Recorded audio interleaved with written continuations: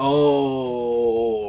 Alright guys and girls, this is a long playing review for Monument on the Amstrad CPC, released by Zeppelin Games in 1991. Now up until a few years ago I'd never heard of this game before and it looks like most of the Amstrad community hadn't either. Let's just take a moment though to take in this truly rubbish box art. I mean no wonder no bugger ever bought it. I mean would you if you saw this this on a shelf back in the day.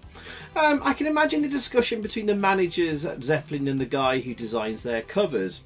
Here, mate, the game's called Monument. Um, no idea what the game's about. Just find a stock photo of some old looking building that's not going to cost us out and slap it on the cover. That'll do. Why, hey! And uh, this is what we got. Anyway, no wonder Zeppelin weren't that successful. And, well, they did come quite late into the budget market. But yes, it hardly screams run and gun game, does it? Because that's exactly what this is. And I love run and gun games.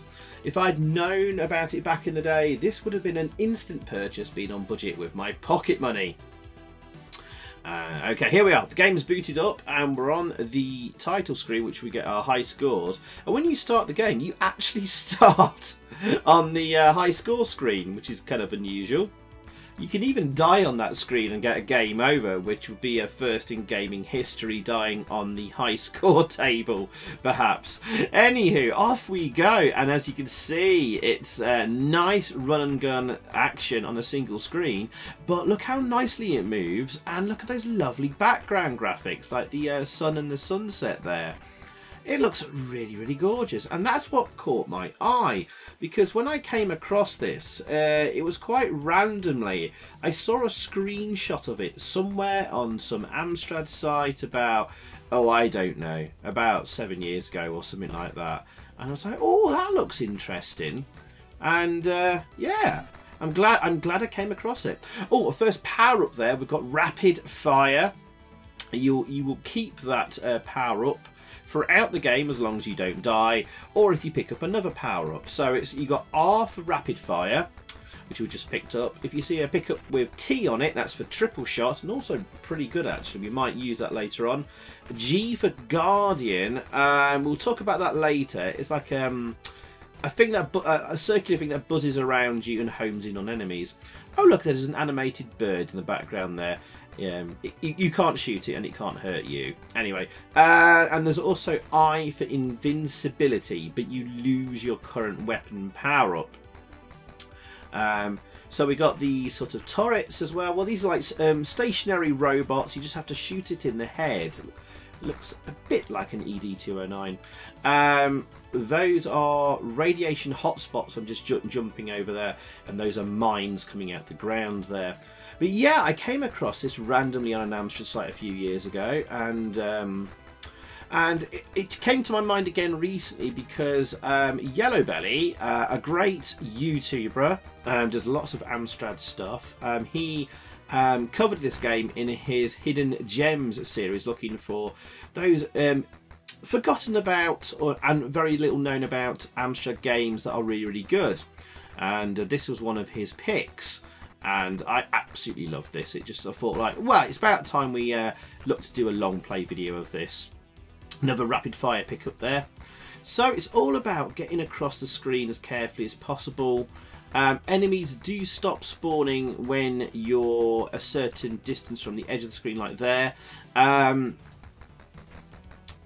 which is always the problem with single screen games that enemies spawning on top of you can always be a problem. Thankfully they don't spawn right on top of you on the next screen. Um, you can't go back a screen by the way. Um, but I think there's enough distance uh, from your character to the far right of the screen to, for enemies to stop spawning in. I think they've got that just right. And if you're desperate, you can just do a big long jump and hopefully hit the edge of the screen and move on to the next uh, section. So there's 54 screens in total. And you can see the screen number we're currently on in the very bottom left corner. We're on screen 16, moving to 17 now. We've got the score next to next to that. 882 points there. Uh, the number of lives, we've got eight lives, so plenty of lives. This is a deceptively difficult game. I'm going to make this look easy because uh, we're doing a long play. So ideally, we, want to try and get through this without losing a life. Um, and then to the right there, you've got the current weapon you've pick, uh, got activated. So we just picked up the T icon there, and we've got the triple shot. And I think uh, we're going to keep this throughout the rest of the game. I like the amount of firepower you can shoot out. Lots of bullets very quickly, and it just feels really good. Um, I don't like run and gun games or shoot 'em up games where you can only fire a bullet at a time or it's very weedy. You really do spray the screen with bullets, and it just it just feels much more cooler and fun to be able to do that. So uh, yeah, I like that. I like that a lot, especially when you got the rapid fire or the triple shot. Your normal weapon fires out a decent amount of bullets, um, just enough to kill one of these uh, en uh, these robot enemies coming constantly at you um, in about three shots which is just about enough there.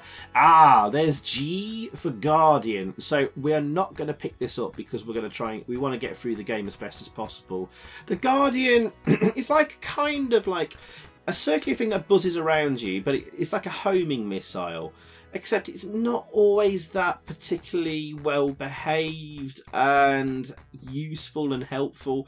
So I tend not to pick it up. Uh, you, will only see that pickup maybe twice in the game anyway. Um, stick with the rapid fire or the triple shot. The triple shot's really handy. Look at that. I was able to take out that like turret a great distance without doing too much. Oh yes, if you hold down the fire button and push up, then you can shoot directly up as well. That's going to be very useful. Um, so yeah, um, let's talk about the story of the games. Give you a bit of a background. I mean, it's a bit ridiculous the story. Um, we'll start with the, the story on the back of the box. And it says, The attack on the colony by mechanized combat units was as savage an end as any in recorded history. However, a group of survivors withdrawing to the safety of a mineral ore mine decide to strike back. Armed with superconductor weapons, they prepare for a last ditch attempt uh, to repel the alien force and reach Monument. We don't actually know what Monument is. Hmm. I think it's just like the end building, basically. Um, there's also on the inside cover, there's a little bit more story, and it reads as thusly. The grey morning light filters through the dense cloud of smoke and ash. Only the thin screech of carrion birds, oh, we actually see them in the game, uh, can be heard in the air above the desolate ruins of the once busy spaceport.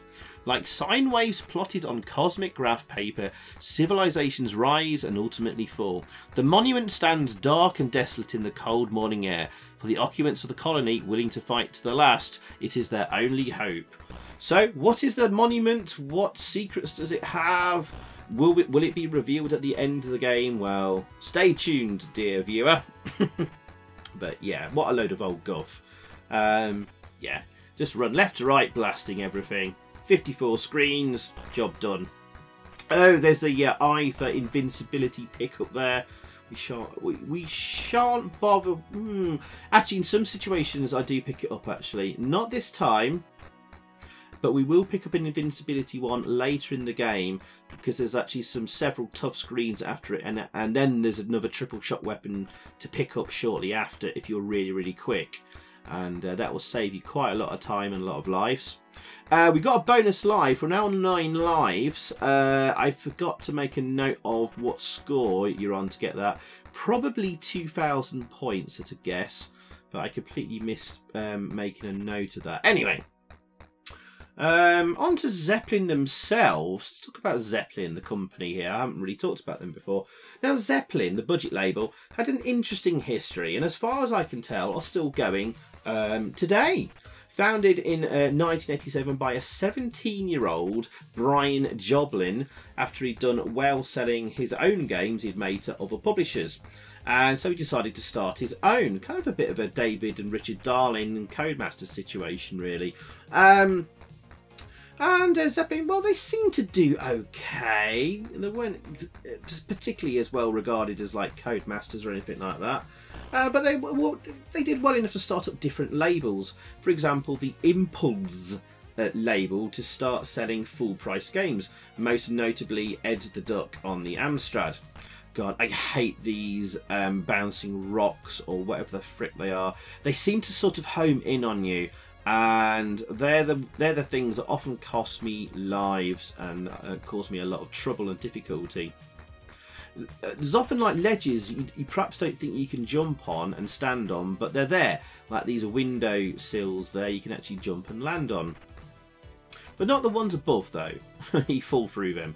I for invincibility, let's pick that up. There you go. And run, run, run, run, run. Because you only got a limited time. You've lost your weapon. I think on the next screen there's a triple shot again to pick up. So that's saved us a lot of time. And we've got our weapon back. Um, uh, so in uh, yeah, let's talk about uh, Zeppelin again. So in 1980, sorry, 1994, they became Merit Studios. Then finally, Eutechnyx in 1996, specialising in racing games predominantly for the PlayStation. I don't think they had massive massive success, but did well enough to keep going. They're still going in 2020.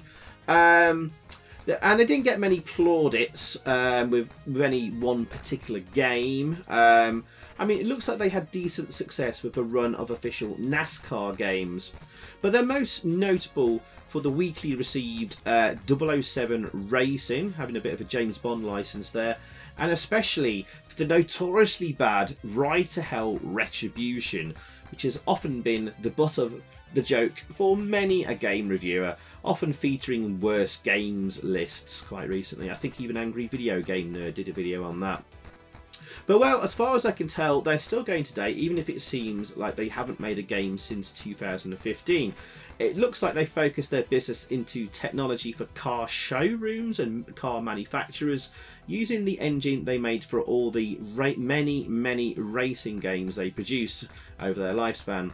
As for Brian Jobling, the 17 year old that started this company up, well, he, he finally resigned from the company on the 15th of July 2020, so not too long ago, and now lives in a very nice house, whilst his brother Darren now runs the show for him.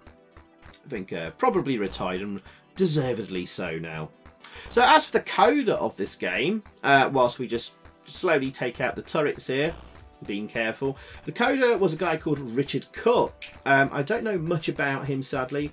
Um, his only other games for the Amstrad were for the Players budget label, both in 1989 with a game called Shark and another game called Task Force. I I think I've only played them briefly before. I don't remember them being anything particularly outstandingly uh, special. Certainly, I think this is, is this is his finest work in the trilogy of games he made for the Amstrad.